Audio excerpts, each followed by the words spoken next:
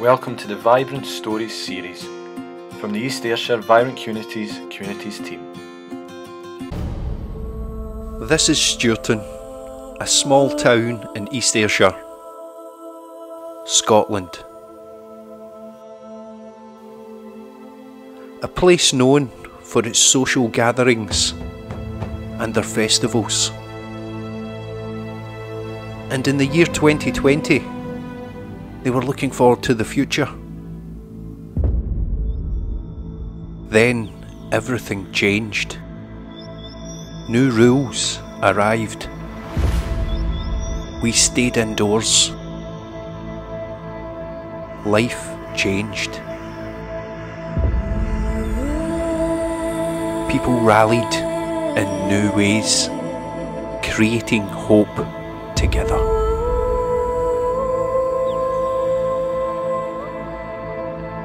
During days of uncertainty and fear. Some people stood up to care for others, helping their community.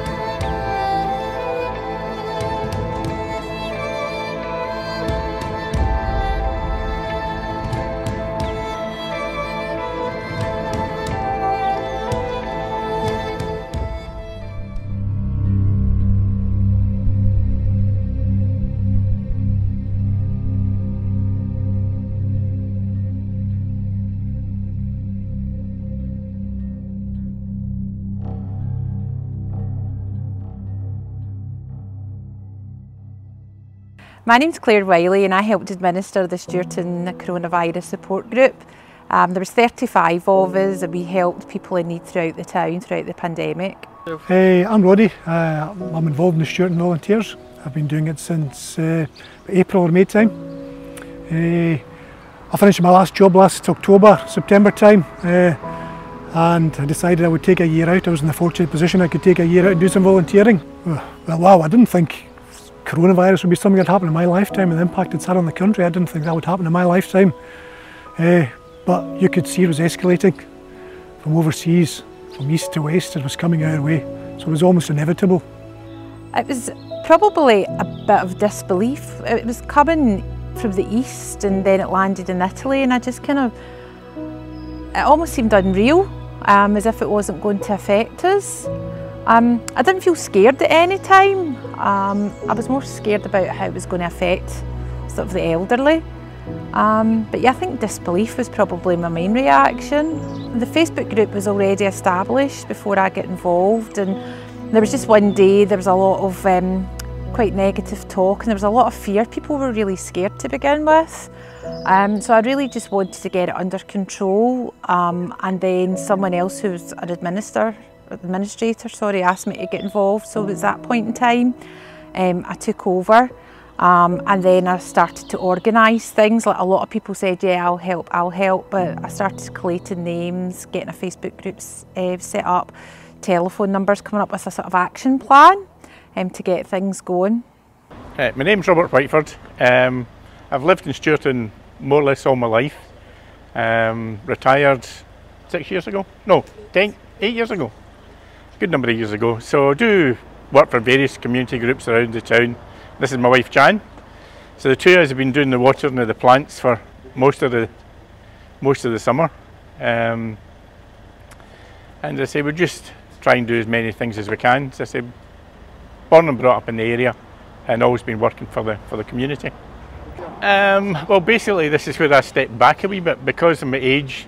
Um, health wise and all the rest of it. So rather than going into this, I stepped back a wee bit and let Claire um, take over the, the COVID 19 group. Um, so both of us been over the 70 mark, kind of thing. um, we decided to step away from it a bit. Worked in the background, doing a lot of the unseen work, but um, to say still being there, but not at the front where we where we usually are. I think it was really just the fact that on a daily basis, you know, um, if I needed help, people were crying out to help me. We had a WhatsApp group eventually, Um, and I would say, you know, could someone do a prescription? And within five minutes, I'd have three people fighting to help me. Um, just, I think, realising the impact that small things did for people, like walking dogs. The sort of, there was a lady who was sheltering, um, I think she was immunosuppressed, the difference that that made to her.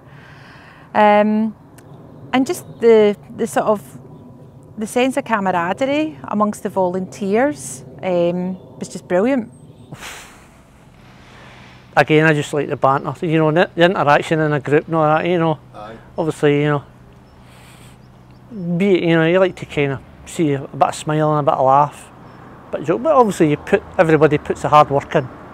I think I think the collective hope is just being there, being able to, you know, support people. You know, be it from like like I've seen, you know, be it prescription, be it you know, garden tidies, or even some of the guys have done, you know, a, a lot of work, you know, just doing the food parcels like myself. My name is Barry Skade. I've just started a new job, uh, Spark of Genius, working with kids with AD, AD problems, uh, behavioural problems and that, so that's my new job now at night shift. Well, I just find that the community need the help. Uh, the audience weren't out and about, so they needed somebody to deliver stuff for them, so decided to help. The older people, they reacted with joy in their face, uh, absolute gratefulness, uh, what we were doing for them, delivering, I was delivering meals um, every every day. So they were happy. I feel as if you've, you've done something good for them.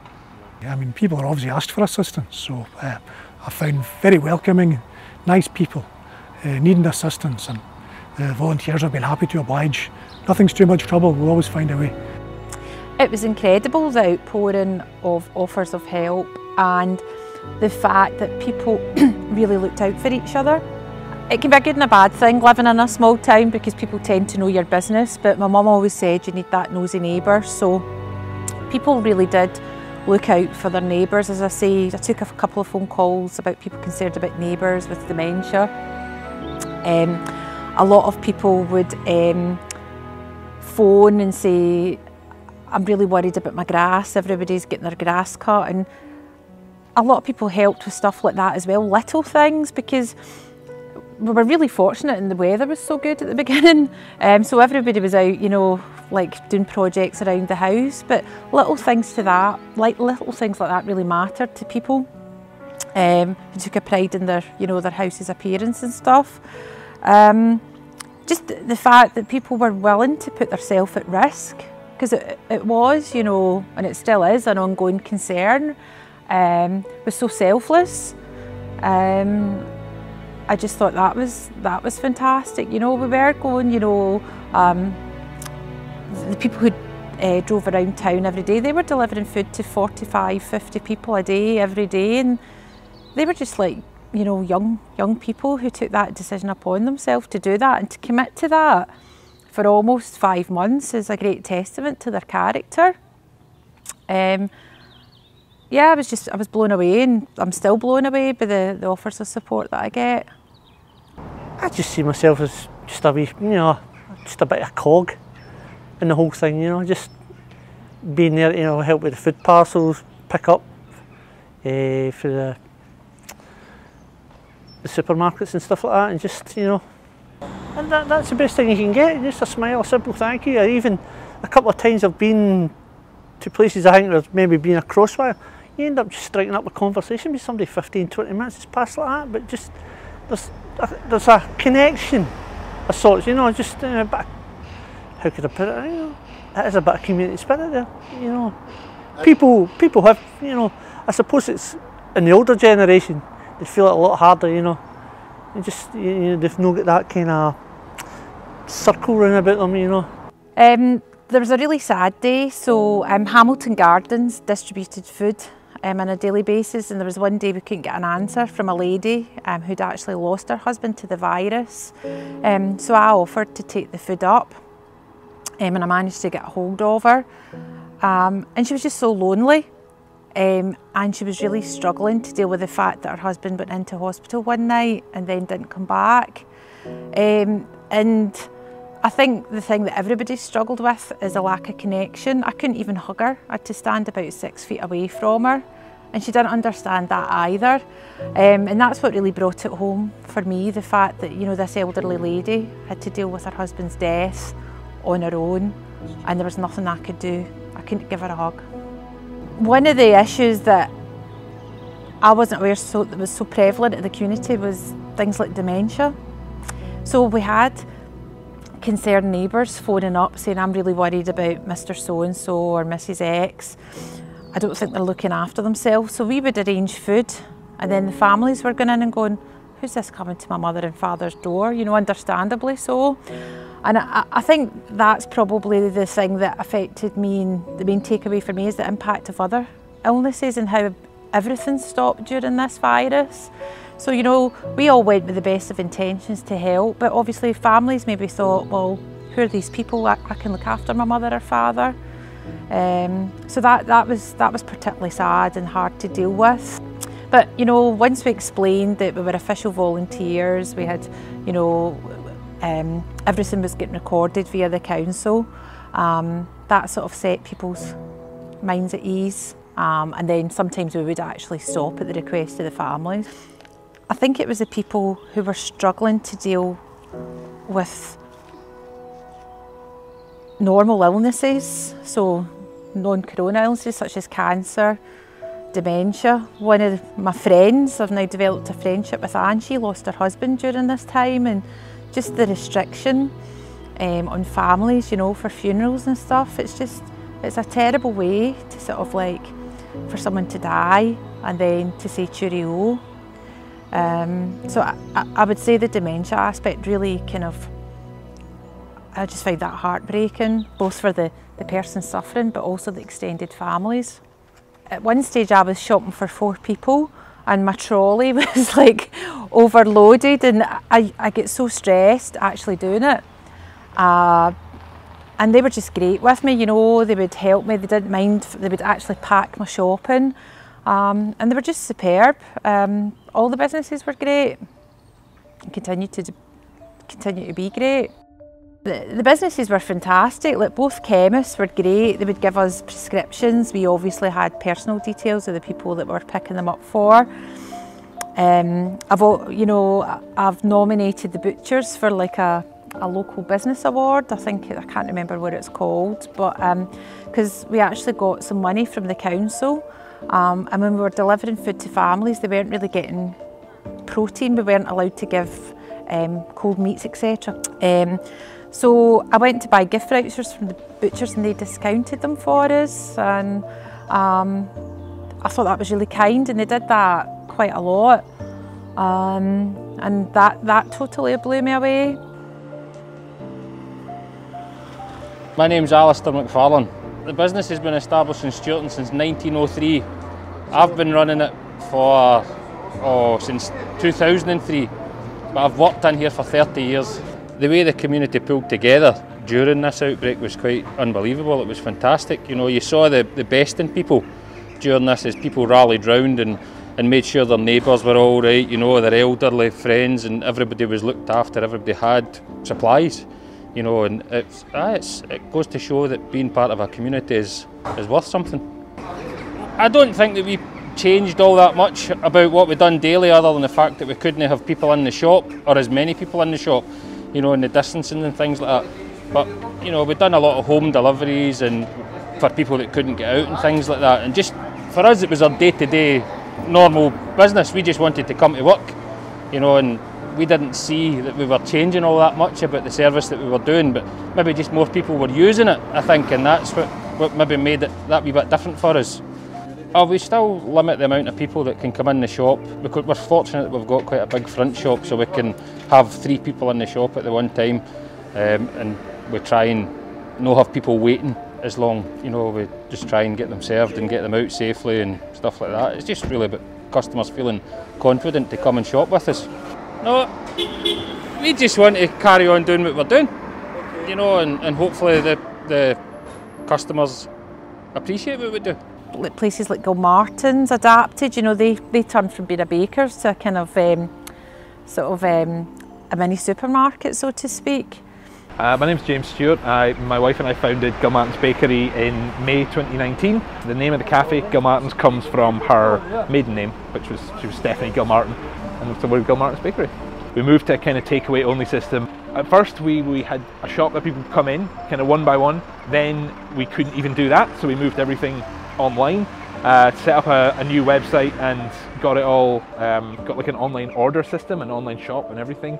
People were just really grateful to have something and we were really happy to be able to help. Um, it was it was quite natural for us to to not just you know close the cafe and go sit at home. We wanted to be doing something.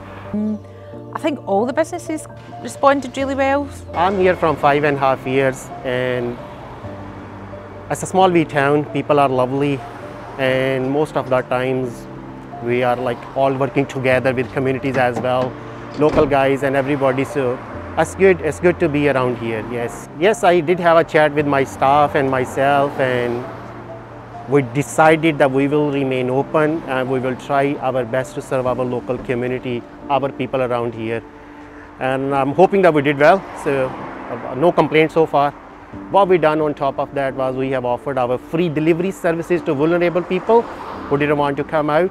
So we have a Facebook page, we display everything there.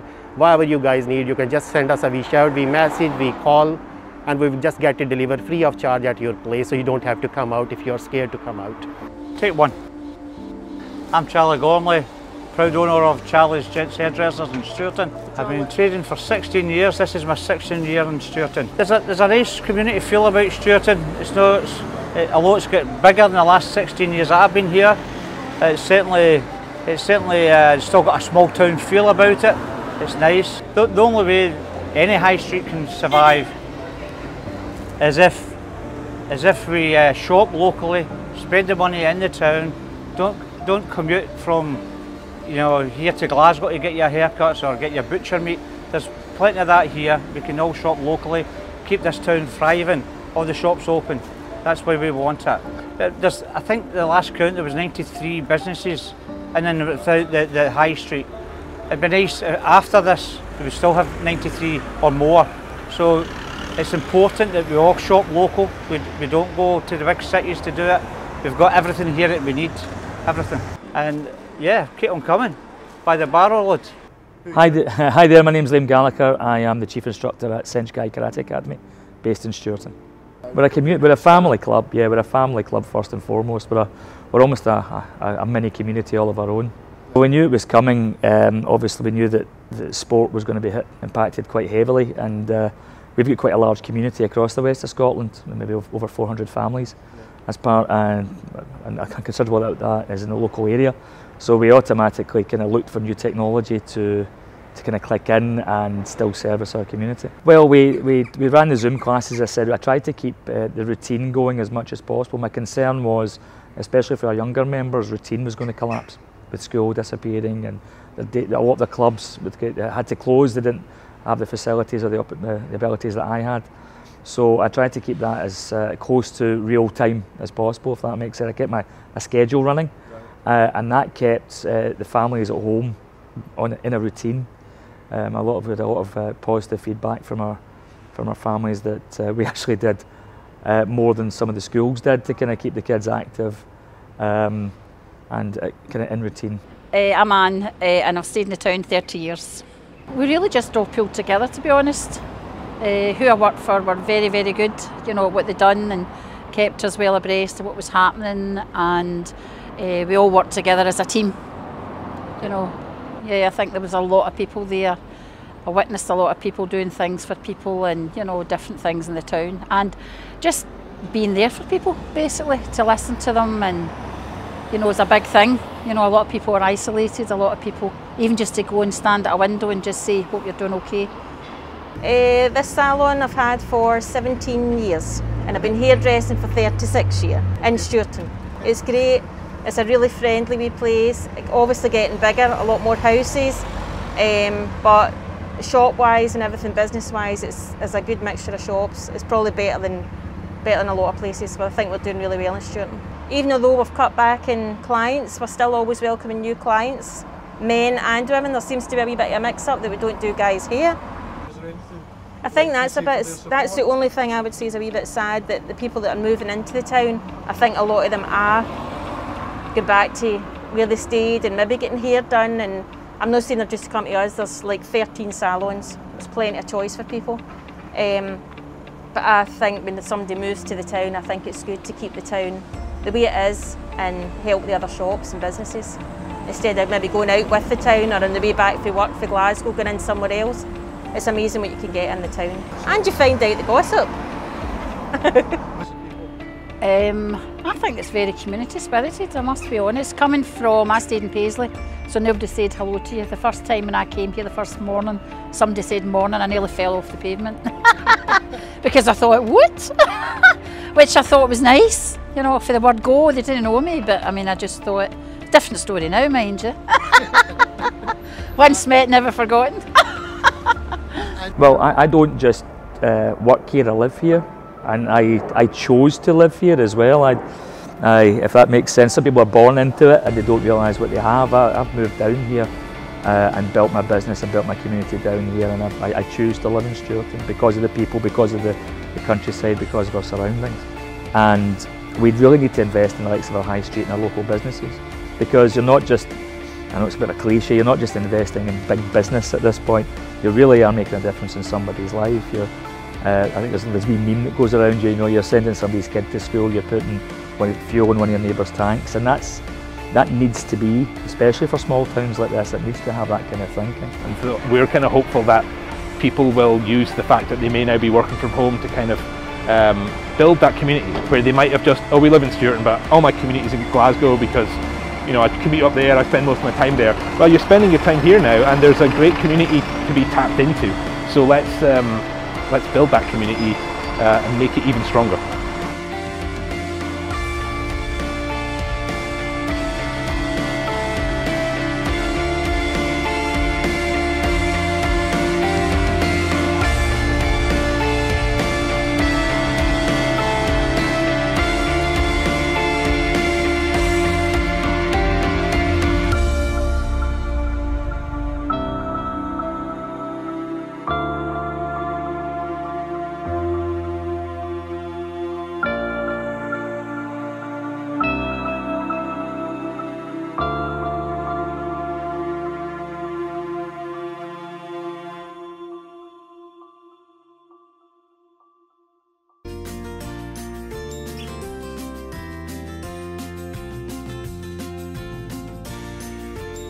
Find out more information about Vibrant Communities and the work of the Communities team at the following links.